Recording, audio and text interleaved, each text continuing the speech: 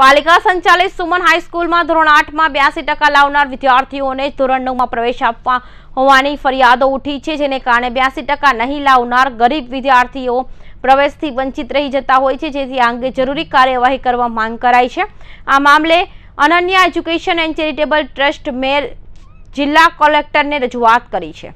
ફરિયાદ મુજબ શાળાના ધોરણમાં આઠમાં પાસ થયેલા ગરીબ વિદ્યાર્થીઓને મનપાની સુમન શાળામાં ધોરણ નવમાં પ્રવેશ લેતા હોય છે જોકે ધોરણ આઠ પાસ કરી ગયેલા વિદ્યાર્થીઓને સુમન શાળામાં ધોરણ નવમાં પ્રવેશ આપવાની મનાઈ કરવામાં આવી છે, જે વિદ્યાર્થીઓએ બ્યાસી ટકાની ઉપર માર્ક્સ મેળવ્યા છે. ફક્ત તેમને ધોરણ નવમાં પ્રવેશ આપવામાં જણાવવામાં આવે છે.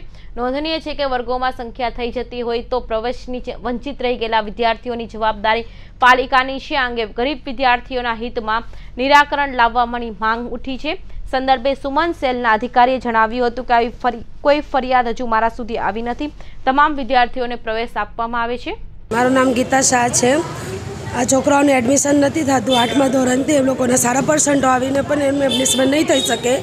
તો અમે અહીંયા જ રહીશું અને સાંજ સુધી અહીંયાથી અમે જવાના નથી. જ્યાં સુધી અમને એડમિશન નહીં થાય ત્યાં સુધી. કેટલા બચ્ચાઓ છે? અહીંયા છે પચાસ સાઠ છોકરાઓ છે એમનું આઠમા ધોરણમાં સારા પર્સન્ટેજ આવ્યા છે પણ એમનું એડમિશન નથી થતું एडमिशन માટે તમે કઈ કઈ સ્કૂલમાં જઈને આવ્યા मेरा नाम श्रेया ब्रिजलाल यादव है मैं आवेदन पत्र यहाँ डालने आई थी 26 तारीख को और मेरा यहाँ पे कोई एक्शन नहीं लिया गया सर हमें चौदह चौदह नंबर सुमन हाई स्कूल में एडमिशन चाहिए था और वहाँ पे कुछ एक्शन नहीं लिया जा रहा बोला जा रहा है कि हमारा एडमिशन नहीं हो सकता है क्या हमें आगे पढ़ने की अधिकार नहीं है आप बताइए सर अभी कावित्री महादेवी प्राथमिक शाला नंबर दो सौ छिहत्तर में हमने क्या बोलते हैं, अभ्यास किया था।